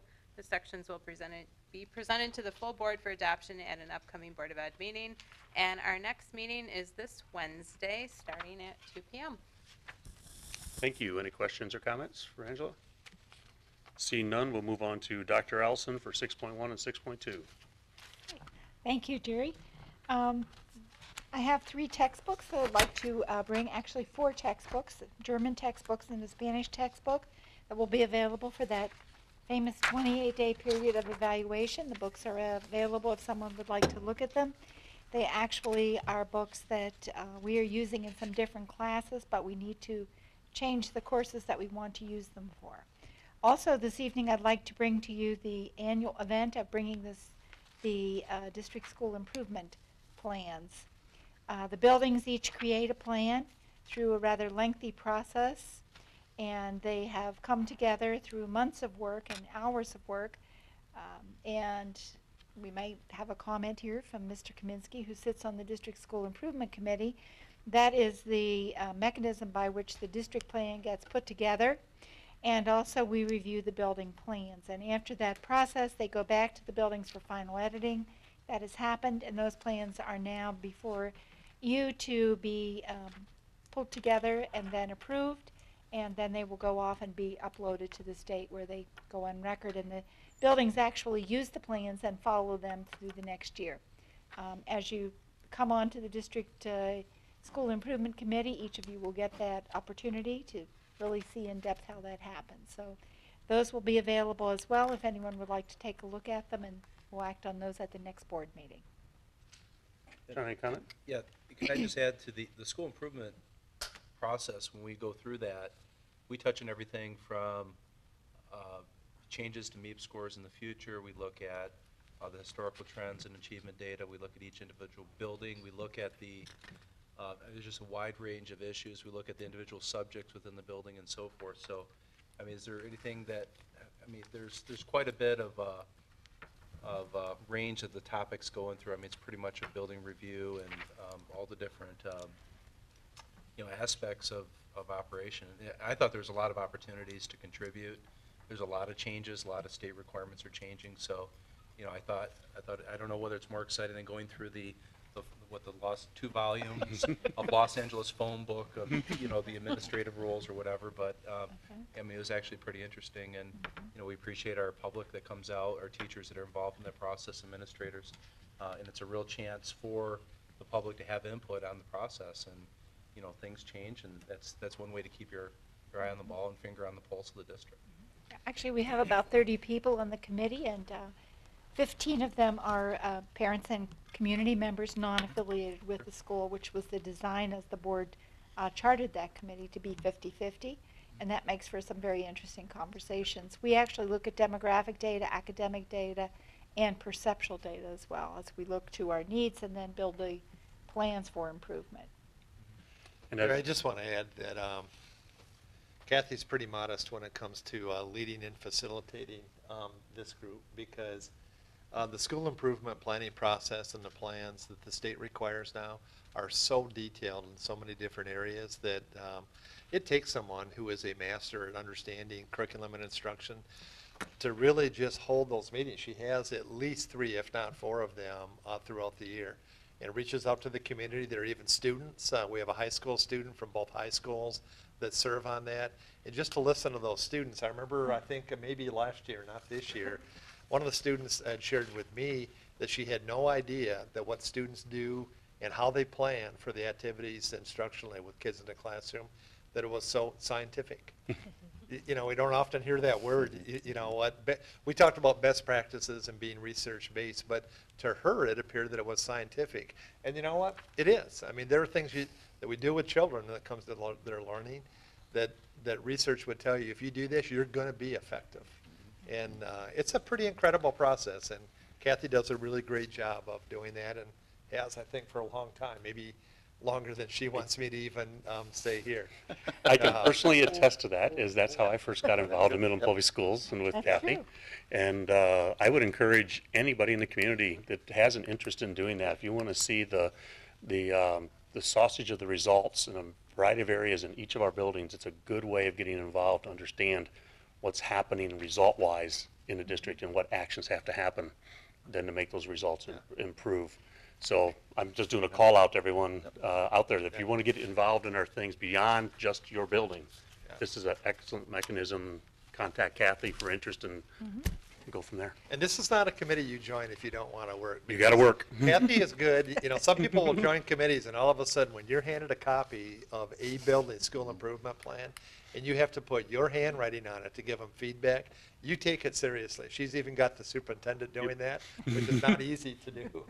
A- And some people will bail when they realize that's what they have to do. And she has that group well prepared for the last meeting in the spring that was just a couple weeks ago. Yep. Um, And that, that's good feedback for the buildings to get, so kudos. Actually, and after the uh, plans are approved, they will be on each school's website as well as ours will be. So if people are just interested in even looking at them and reading about what we see, they are different than in the past because it's gone more electronic. We deal a lot more now with gap analysis and with causes and then building those strategies. But one of the most interesting pieces is that uh, it would be the goal at the state that everything you want to do would be in your plan. So just this week, Mr. Verlinde and I were talking about the homeless um, McKinney-Vento legislation. And lo and behold, as we're working our way through this multi-page document, we come to a place that says, is everything you intend to do for the homeless interventions in your district improvement plan? The answer was no, so I'm working on putting that in. So even as it is being reviewed, they are meant to be living documents. And things change and you have to constantly monitor and adjust. So it's a, it's really great. Okay. Great work by all of the, people don't realize how much work goes into it at the building. And you know, those folks are trying to have kids every day and teach and learn. Exactly. Thank you, Kathy. Any other questions for Kathy? Thanks for all the effort in that. Okay, we'll move on to finance, and Linda gets to come again for seven one and seven two. And I think we're going to be able to end the formal part of the meeting on a high note. Uh, We have two gifts for acknowledgement. The first is from the Midland Kiwanis Foundation, and it covered transportation costs for an East Lawn field trip to Science Under Sail. And then the other was from the National Energy Foundation, and it was support for the Think Energy program with Consumers Energy, and it was a mini grant program for Adams Elementary fourth grade teachers. And in order to qualify for this, they had to get their students involved in some energy conservation initiatives, and they were able to do that. So between the two, we have gifts totaling $462. Uh, the National Energy Foundation gift for Adams will be deferred for the 12-13 year because obviously it's too late to spend that money on the students this year. Uh, The one item that does require your action is a perfect example of what makes Midland such a unique community. We were contacted, this was not solicited, by Mary Coulter, and as you may see in the agenda, Mary and Fred were longtime residents of Midland, and their two, two children both graduated from H.H. Dow High School. It's important to Mary, as it was to her late husband Fred, that all children have the opportunity for an advanced education. So Mary and her family have decided they'd like to assist a student in need, providing them an opportunity to attend college or a trade school. So funds totaling $10,000 have been contributed by the Mary and Fred Coulter Family Foundation to establish the Mary and Fred Coulter Family Scholarship, and they'll be distributed as outlined in the guidelines that were provided to you. And because Mrs. Coulter specifically asked that this, that need be the primary driver behind the scholarship, she said that to protect the privacy of the student, she really didn't want a public announcement of that student's award. Uh, but our buildings have gone, or our Dow High has gone ahead and identified a student, and we do have someone who's going to be the beneficiary of this scholarship, should you approve it. So of course, we recommend that you establish the Mary and Fred Coulter Family Scholarship as part of our trust fund that's administered by Chemical Bank. I'll entertain a motion. So moved. Support. Moved by Mr. Oley and supported by Ms. Baker. Um, Any questions or comments on the Coulter Family Scholarship? Very generous. Again, very generous, very nice. Okay, all in favor of accepting, say aye. Aye. All opposed? Unanimous. Thank you very much to Mary Coulter. Nice to us. Um, The rest of the meeting, uh, we have correspondence to and from the Board of Education listed in the agenda, in addition to the uh, schedule of upcoming meetings through the summer and through the fall of next year. And that takes us into study discussion session. And with that, I'll start to my immediate left with Mr. Olney. Um, Most importantly, congratulations to all of our graduates and all of our staff that contributed towards the gradu- graduation of all of our seniors. Um, And congratulations to uh, Ms. Baker and Mr. Mall for their children graduating. And I I- I suspect, I don't know this to be fact, but Lynn probably set the all-time record for the most kids graduated in MPS by a board member. I I don't know. I don't know who would rival you kind of thing, but uh, anyway, so, so congratulations. It's really, as it always is, a wonderful event. And staff do a great job with the graduation. Um, Also want to congratulate all the various teams and individuals who um, received um, honors for completing the um, spring sports season, whether it be um, girls soccer like Dow High and baseball and golf and um, track and field and what have you. And I know we had some um, awards for coaches. I know Eric Albright got the Coach of the Year for baseball, and I'm sure I'm probably missing a couple as well. But congratulations to all of them as that is all winding down right now. Um, Want to thank Linda one more time for um, doing a wonderful job. And I know you have a large team that contributes towards it, but it's still it's your leadership that puts a very complicated subject together in a way that, that all of us can understand. And thanks again to Dr. Ellison for your leadership on an ongoing basis, which you're probably right, we probably take for granted, but it's just as important as anything, and probably more important than other things that we do. And it's your leadership that makes it happen, Kathy. So thank you for that as well. And I think um, that's it, other than the obvious um, thanks again to the Mary and Fred Coulter family. So generosity beyond anything we can probably describe or other than say very sincere thank you. So that's all I got. Um, Also, thanks to the Coulter family for making a, a higher education a possibility for somebody in need. That's a very, uh, very generous gift. Uh, Just with going through the budget presentation, thanks Linda, you and your team. I don't know how many hours, uh, weekends, evenings that you put into uh, uh, getting this ready. It's our first firm look at what the budget's going to look at for 12, 13. We realize that's going to change. We realize that there's limits to how much you can predict the future. Uh, But hopefully, as time goes on, we can build some unity in the district as far as our budgets, numbers, and projections, and where fund equity is going and so forth. Um, And just thanks to all the employee groups for the contributions to making this, uh, at least on the expense side, a a better picture uh, going forward. Um, Your uh, contributions are very uh, much appreciated.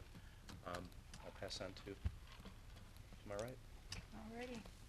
Well, graduation was wonderful this year, and it was um, a little bittersweet for me as well. It, it kind of brings to a close 26 years as an MPS parent, so um, I guess I'll be taking another, moving into a, uh, a different realm next year as um, we'll still be actively involved with the schools. And I said, maybe it's a good thing I'm still on the board for a couple years. I just won't go so cold turkey into um, not, not being involved with the schools. But, um, Grandkids on the way, though. yeah, they're in a different district, but I'll cheer They them don't on. have, move them back. Yeah, we just had that You got a discussion basement? tonight. I know.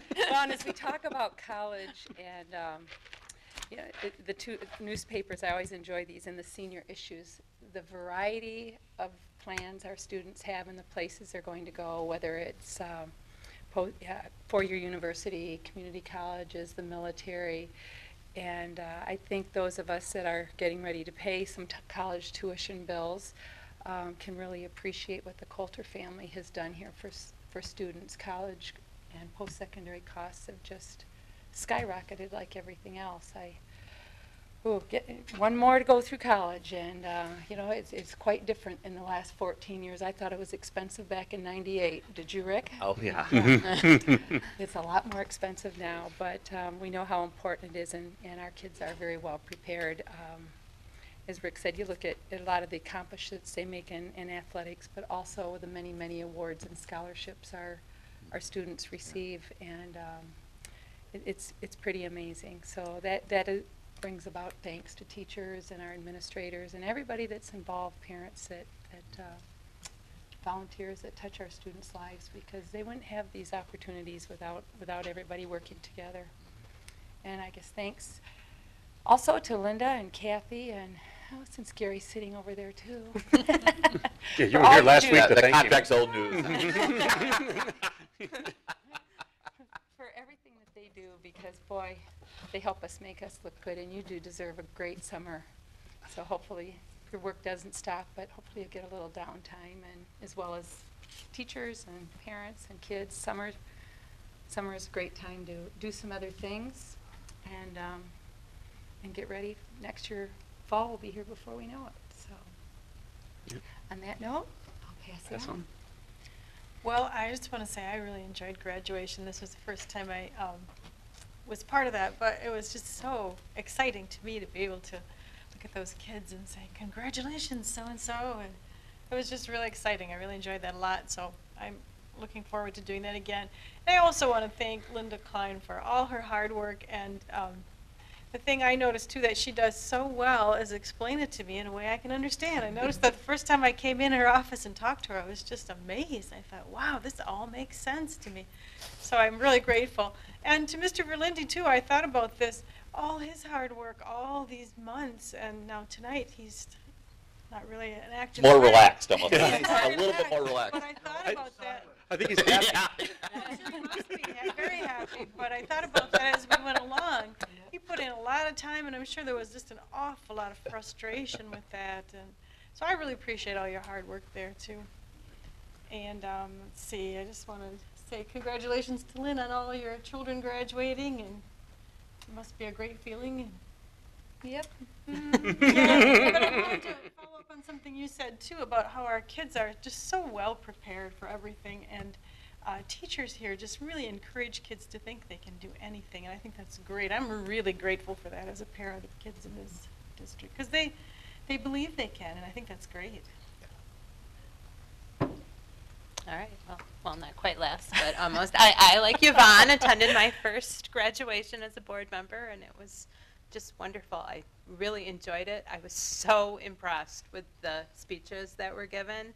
And um, following up on Mary and Fred Coulter, Pam Castle made a point during her speech of saying how much money the kids had been offered in scholarships, and it was unbelievable to me just really speaks highly of how much hard work these kids put in and how much support there is in the community for that. So, and on the school improvement committee, I was on that committee last year, and I don't think a lot of people understand. It was quite an eye opener for me of what the state requires and how much time and effort is put in behind the scenes that probably no one would realize unless they had been on that committee. And, and I, someone else had said that, how much time people must put in when you think of what they really need to do from, you know, a school level of being there for the kids and how much time they must have to put into this very tedious document. So, thanks for working on that, because I have a feeling most people don't even understand how detailed that is.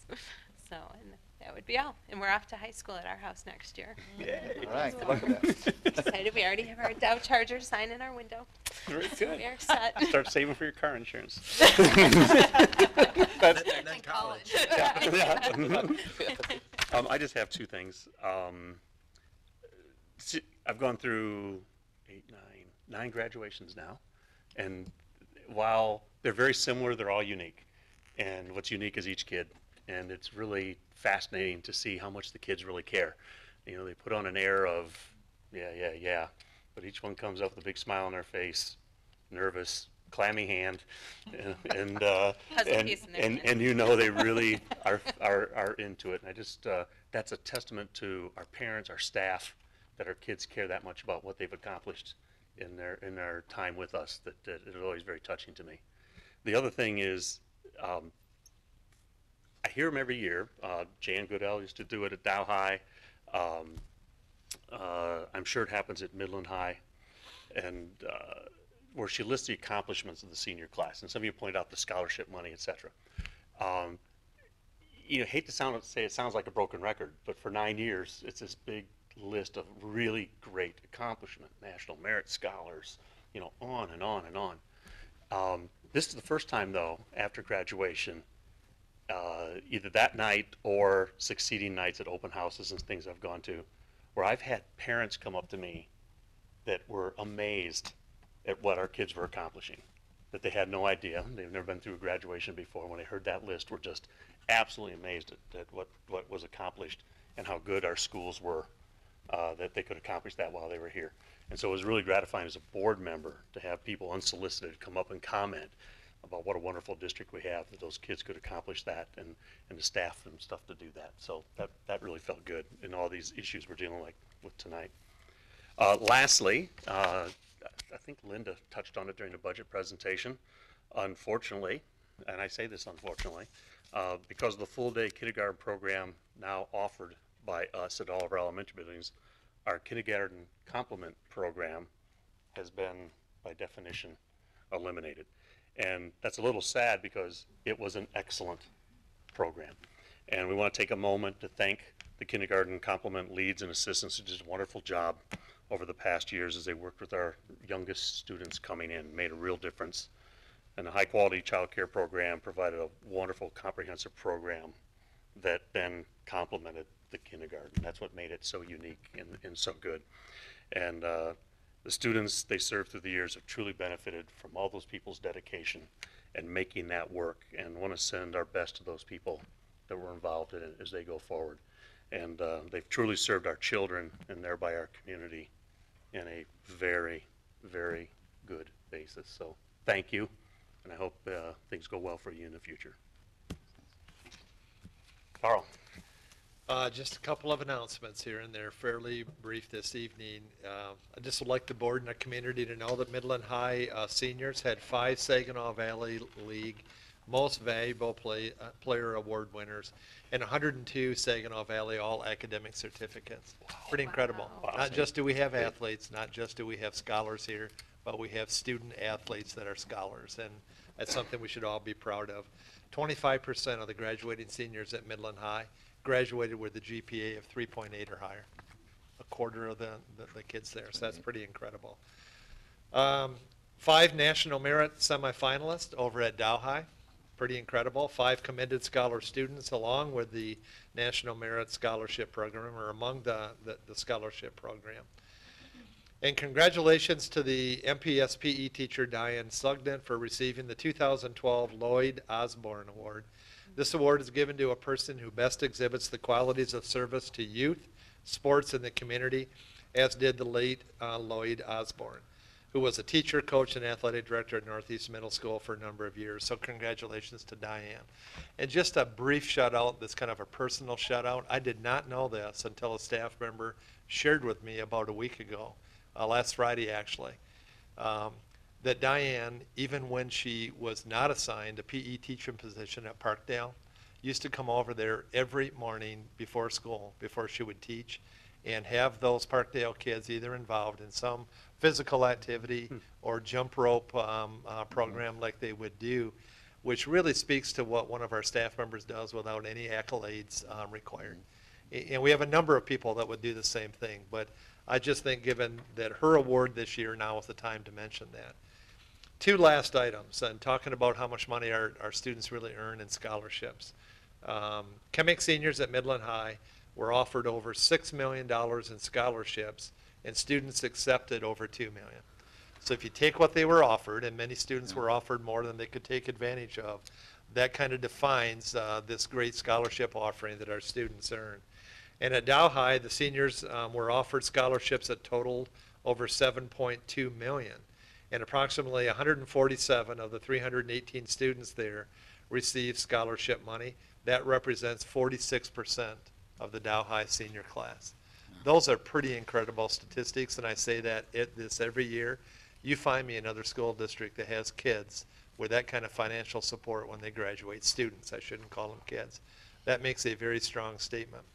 My very last comment for the evening is, our staff and our kids, students, don't do this by themselves. There are seven board members here that set a standard of expectation for me, for all of us, for our staff here, that we enjoy stepping up and delivering to. And so what I would say that I knew about this district before I joined it five years ago, and that is a long history of excellence. I mean, it's part of our tagline, but it really means something here to this community. The seven of you set the standard for all that. You believe in that so much, or you wouldn't be serving on the board. You too play a role in the success of all our students. So thank you for doing that. You're welcome. Thank you. Any other questions or comments for the good of the order? Just, just one comment, I guess, and we've touched on it in past meetings. There are um, probably quite a few, I don't know what the number is, of our students who graduated. And they've made the decision to join the military. And I just wanted to thank for that and wish them Godspeed. Ditto. We stand adjourned with that.